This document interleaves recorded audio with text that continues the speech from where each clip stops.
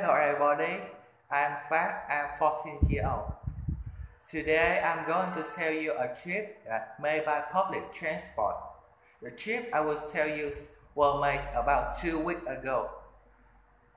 I made a remarkable trip to a vibrant and cosmopolitan city named Cần with two of my best friends, Kang and Jung.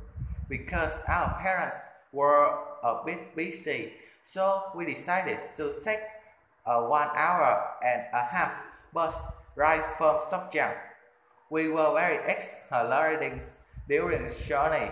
Cần Thơ is really a beautiful city with lots of high-rise buildings, shopping malls, fashionable boutiques, and entertainment areas.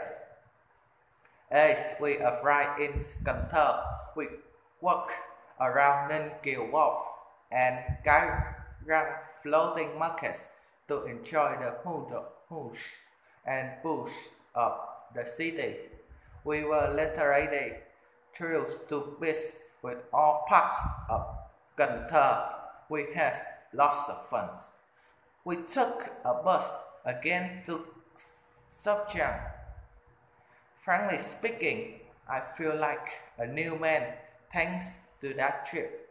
From my perspective, traveling by public vehicle is rather than re private transport because all of us didn't know the exact route to the place we travel, and that's why I refer to take a journey in public transport station. Besides, traveling by public transport is also a way to protect the environment because it is environmental friendly.